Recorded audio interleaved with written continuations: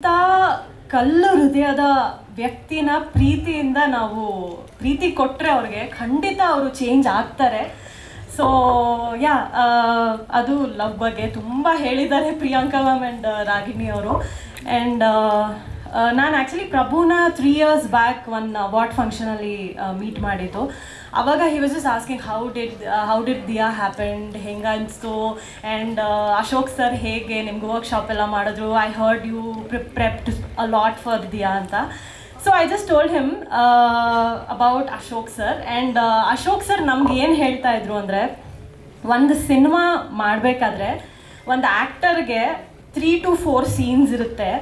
Where that scenes are the actors where ಅವರು ಅದನ್ನು ಅರ್ಥ ಮಾಡಿಕೊಂಡು ಟೂ ಹಂಡ್ರೆಡ್ ಪರ್ಸೆಂಟ್ ಎಫರ್ಟ್ ಕೊಟ್ಟರೆ ಅಂದರೆ ಬೇರೆ ಸೀನ್ಗಳಿಗೂ ನಾವು ಎಫರ್ಟ್ ಹಾಕಬೇಕು but these four to five scenes ನಮಗೆ ಅರ್ಥ ಆಗಬೇಕು. Okay fine this one it's my scene where I have to form it ಅಂತ.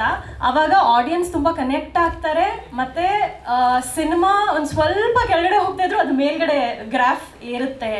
ಅಂತ ಹೇಳ್ತಿದ್ರು. ಸೊ ಅದನ್ನು ನಾನು ಪ್ರಭುಗೆ ಹೇಳ್ತಾ ಇದ್ದೆ ಆ್ಯಂಡ್ ಮೊನ್ನೆ three days back he just called me and invited me ಅವಾಗ ಹಿ ವಾಸ್ ಸೆಲ್ಲಿಂಗ್ ನನಗೆ ಅವಾಗ ಅದು ಗೊತ್ತಾಗ್ತಾ ಇರಲಿಲ್ಲ. ಇದು ಹೆಂಗೆ ವರ್ಕ್ ಆಗುತ್ತೆ? ಸುಮ್ಮನೆ ಮೂರು ನಾಲ್ಕು ಸೀನಿಂದ ಹೆಂಗೆ ಆಗೋಗುತ್ತೆ ಅಂತ. ಬಟ್ ಇವಾಗ ನಾನು ಅದನ್ನು ಎಕ್ಸ್ಪೀರಿಯನ್ಸ್ ಮಾಡ್ತಾ ಇದ್ದೀನಿ. ಮರ್ಫಿ ಸಿನಿಮಾ ನೋಡಿದೆ. ನನಗೆ ನನ್ನ ಸಿನಿಮಾ ಅಂತ ಹೇಳ್ಕೊತಾ ಇಲ್ಲ. I am really happy about it ಖುಷಿ ಅಂತ ಎಲ್ಲ ಹೇಳ್ತಿದ್ರು. So I am really looking forward to the film all the very best guys I I am sure you guys have you know done a tremendous job so yeah trailer also ತುಂಬ ಚೆನ್ನಾಗಿ ಕಾಣ್ತಿತ್ತು I hope ನೀವೆಲ್ಲರೂ ದಯವಿಟ್ಟು ಇಂಥ ಒಳ್ಳೆ ಒಳ್ಳೆ ಸಿನಿಮಾನ ಥಿಯೇಟ್ರಲ್ಲೇ ಬಂದು ನೋಡಿದ್ರೆ ಇಟ್ ಬಿ ನೈಸರ್ ಅಂತ ಅನಿಸುತ್ತೆ